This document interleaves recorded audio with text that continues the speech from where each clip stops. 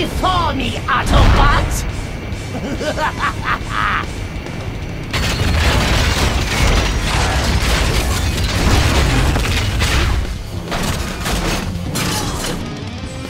Meet your end with honor, Auto Scrap!